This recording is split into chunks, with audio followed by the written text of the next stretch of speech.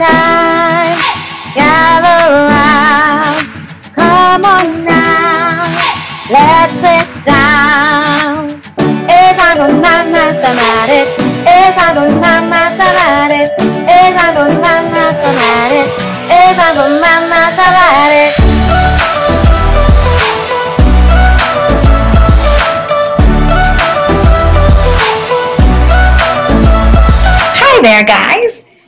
To see that you could join me again for another magnificent and marvelous math lesson with Miss Antonia Bain.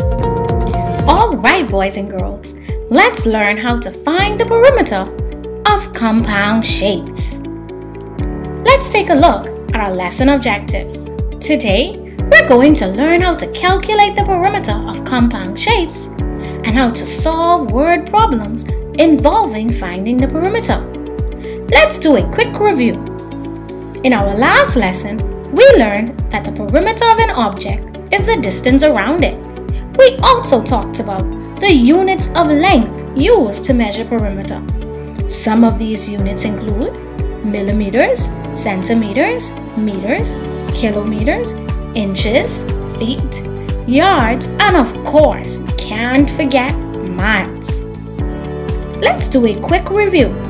Do you remember how to find the perimeter of a shape like this? That is correct. Count the sides. Count with me, boys and girls. One, two, three, four, five, six, seven, eight, nine, ten, eleven, twelve, thirteen, fourteen. The perimeter of this shape is 14 centimeters. Awesome job. What about this? How do we find the perimeter? Do you remember? That's correct. We add up all the sides. So when we do that, we should have 8 plus 8 plus 3 plus 3. Of course, we can't forget our units. So that's 8 centimeters plus 8 centimeters plus 3 centimeters plus 3 centimeters. And when we do that, we get a total of 22 centimeters. Now, let's talk a little bit about a compound shape. What is a compound shape? Well, a compound shape is a shape that can be cut into other shapes. Let's take a look at our example. Can you see where we can cut this shape to form two shapes? Yes, that's correct. That's one of the places where we can cut it so that it forms or makes two separate shapes. That's how we get a compound shape. But how do we find the perimeter of a compound shape? Well, to find the perimeter of a compound shape, add up the lengths of each side. Let's look at this shape as an example. Hmm, there are one, two, three, four, five, six sides. So our formula should look like this. Side plus side plus side plus side plus side plus side.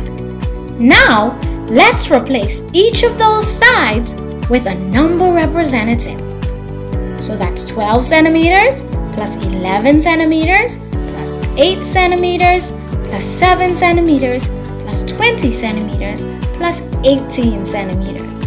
When we add all of that up, the perimeter should equal to 76 centimeters. That's correct.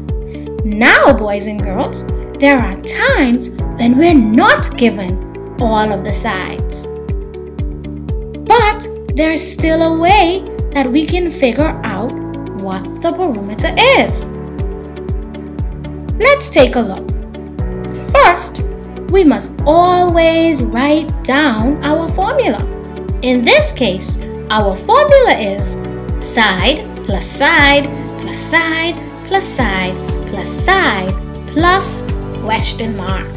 And I put that question mark there because that represents the unknown side. Now, we must fill in the information that we know. We know the length of all of the sides except the unknown side.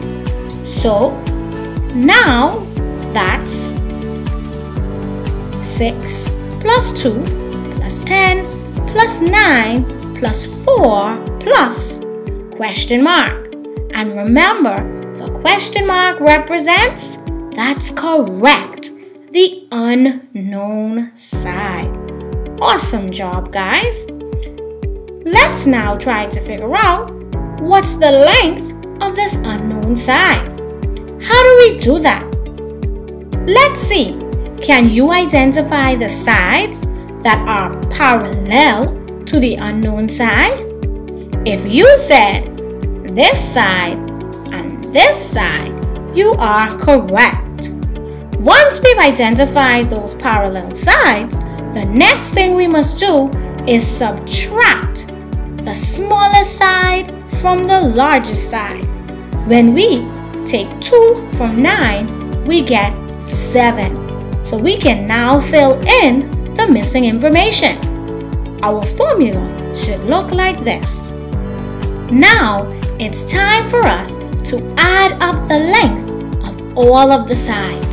And when we do that, we should get a total of 39 centimeters. But wait, what happens when you don't know the length of two sides? Well, don't worry. I'm going to show you how to solve this one right now. We do it the same way. First, we must write out our formula. So let's go. Our formula should look like this. Now, let's fill in the information we know. 6 plus 4 plus unknown plus 15 plus 10 plus unknown. Now, we need to figure out the length of the unknown sides. Let's begin with this side. Remember we said to find the length of the unknown side, we must look at the sides that are parallel to it. Which sides are parallel to the unknown side? Yes, that's correct.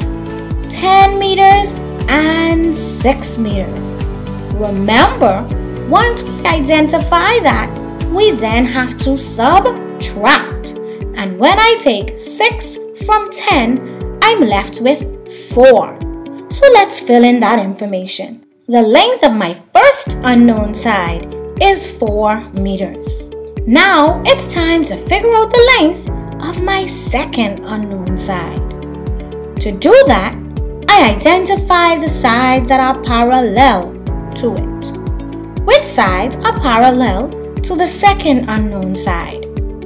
If you said 15 meters and 4 meters, you are correct. Now we need to subtract.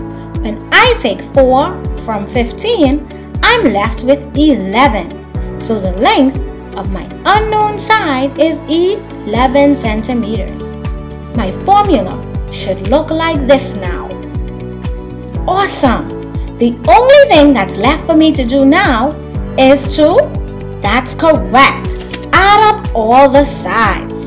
And when I do that, I get a total of 50 meters.